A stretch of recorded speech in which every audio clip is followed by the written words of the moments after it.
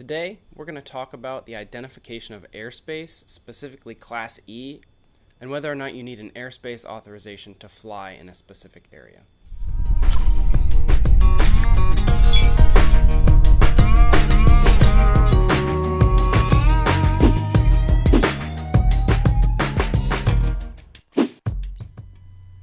Okay guys, so I got another FAA Part 107 question of the week.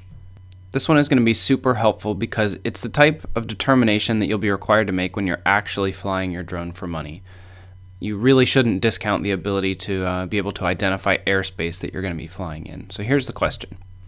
You've been asked to fly a property for a local real estate agent in the area. It's shown below where the map says Tank Farm. It's near the number one in a red circle. And based on the map below, if you stay below 400 feet above ground level during your flight, what airspace will you be flying in, and do you need airspace authorization prior to your flight? And the possible answers are Class G airspace, so you don't need any authorization, Class D airspace, and you do need prior airspace authorization, Class D airspace, and you do need prior airspace authorization, or Class E airspace, and prior airspace authorization is needed. Okay, so let's start with a quick review of the sectional legend. And you should always do this when you get a sectional question on the test. It's always going to be helpful in some way. So here we're looking at the airspace information section that is has a red rectangle around it. And the airspace information section of the sectional legend shows that a dashed magenta line means Class E airspace, and in parentheses it says SFC, which means to the surface while the faded magenta line means Class E airspace with a floor at 700 feet above the surface. So the real question is, which of these lines surrounds the area in which you've been asked to fly? Okay, so looking at the map, you've been asked to fly where the map says Tank Farm, and this area is just underneath a dashed magenta line. And that means that Class E airspace extends to the surface, just like the sectional legend states. So because Class E airspace is controlled airspace, you're going to need authorization. So I know I've just covered this one in a little bit of a non-traditional way, kind of giving you the right answer before I explained the wrong answer. So let's cover the the other two answers.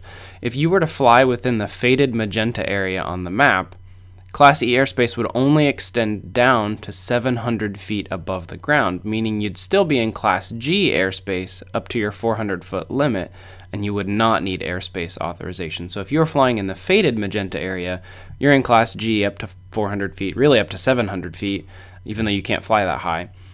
So you're in Class G and you wouldn't need prior airspace authorization. Likewise, if you were flying within the dashed blue line on the map, this is Class D airspace from the ground. Here it says up to 4,200 feet MSL because it's got that 42 in a, a dashed box. So you would also need airspace authorization here. This question is a great primer for something you'd actually see in real life. It's important to know the airspace around airports near you so that you can be confident when a client asks you to fly in a specific location. Um, at a minimum, when you get a request from a client, you're going to want to ask yourself at least these three questions What type of airspace will I be flying in? Can I get authorization through the LAANC system?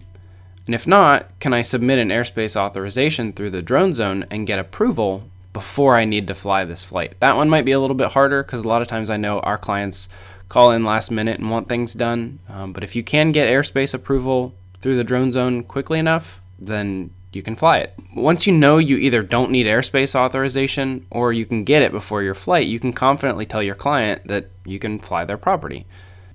So, although the FAA has rolled out the LAANC system to airports nationwide, the other thing that you should know is that this doesn't mean that every airport has actually started using the LAANC system. So, it still might not be available at your local airport. And it's important to know this and check for any flight restrictions before you actually schedule a flight.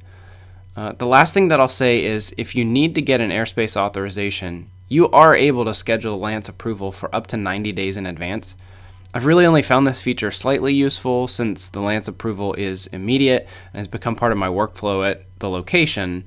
But if you're a hyper planner and you know that you'll be at that site exactly the time you schedule your LAANC approval, then this could be a great option for you. If this video was helpful for you, do me a favor and subscribe, hit the notification bell below, or just give me a like. I'd appreciate that as well. Thanks.